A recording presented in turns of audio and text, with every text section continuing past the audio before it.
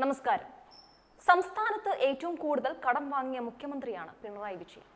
L D F അധികാരമേറ്റ ശേഷം പൊതുകടം എഴുപത് ശതമാനമാണ് വർദ്ധിച്ചത്. സർക്കാർ നടത്തിയ സാമ്പത്തിക തിരിമറികളെ കുറിച്ച് അറിയാവുന്നതാണല്ലോ.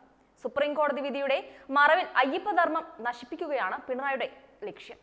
ശബരിമല വിഷയത്തിൽ പാർട്ടി ജനറൽ സെക്രട്ടറി പറഞ്ഞതിന് മറുപടി പറയാൻ മുഖ്യമന്ത്രി തയ്യാറുമായില്ല.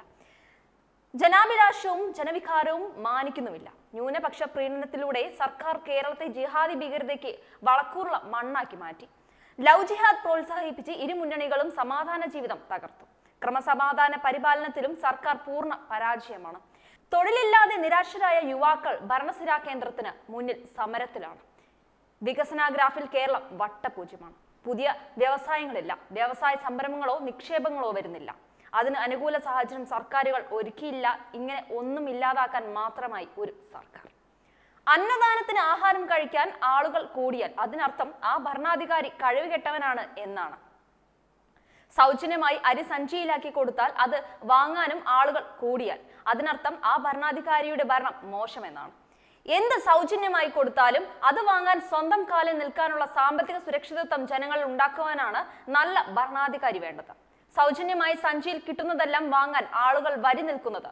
ആ ഭരണാധികാരി ഭരിച്ചു നശിപ്പിച്ച് ജനങ്ങളെ തെണ്ടിയാക്കുന്നത് കൊണ്ടാണ്. മോഹന വാഗ്ദാനങ്ങൾക്ക് ചെവി കൊടുക്കുന്നവർ അറിയാൻ. മൂന്ന് ലക്ഷം കോടിയാണ് സംസ്ഥാനത്തിന്റെ പൊതുകടം. നായനാർ ഭരിക്കുമ്പോൾ ആകെ കടം രണ്ട് ലക്ഷത്തി അൻപത്തി ഏഴായിരത്തി എഴുന്നൂറ്റി അൻപത്തിനാല് കോടി. ആന്റണി വന്നപ്പോൾ ആകെ കടം നാൽപ്പത്തി ഏഴായിരത്തി തൊള്ളായിരത്തി നാൽപ്പത് കോടി. അച്യുതാനന്ദൻ വന്നപ്പോൾ ആകെ കടം എൺപത്തി രണ്ടായിരത്തി നാനൂറ്റി എൺപത്തി ആറ് കോടി. ഉമ്മൻചാണ്ടി വന്നപ്പോൾ ആകെ കടം ഒരു ലക്ഷത്തി അറുപതിനായിരത്തി അറുന്നൂറ്റി മുപ്പത്തി എട്ട് കോടി. ഇനിയാണ് പിണറായി സർക്കാർ. ആകെ കടം മൂന്ന് ലക്ഷത്തി ഇരുപതിനായിരത്തി നാനൂറ്റി അറുപത്തെട്ട് കോടി. കേരള സംസ്ഥാനം ഉണ്ടായ കാലത്ത് മുതൽ നീണ്ട അറുപത് വർഷം കൊണ്ട് എല്ലാവരും കൂടി ഉണ്ടാക്കി വെച്ച കടം ഒരു ലക്ഷത്തി അറുപതിനായിരത്തി അറുന്നൂറ്റി മുപ്പത്തി എട്ട് കോടിയാണെങ്കിൽ പിണറായി സർക്കാർ വെറും അഞ്ച് വർഷം കൊണ്ട് ഒരു ലക്ഷത്തി അൻപത്തി ഒൻപതിനായിരത്തി എണ്ണൂറ്റി മുപ്പത് കോടി കൂടി കൂട്ടിക്കൊണ്ട് മൂന്ന് ലക്ഷത്തി ഇരുപതിനായിരത്തി നാനൂറ്റി അറുപത്തെട്ട് ലക്ഷം കോടി ആക്കി വെച്ചിട്ടുണ്ട്. ഇവരാണോ വികസന നായകർ? ഇവർക്കാണോ തുടർഭരണം കൊടുക്കേണ്ടത്? ഭരിക്കാൻ അറിയാതെ കടമെടുത്ത് മുടിക്കാൻ എന്തിനാണ് ഇങ്ങനെ ഒരു സർക്കാർ എന്ന് ചോദിക്കാൻ നമ്മൾ എന്നാണ് പഠിക്കുക?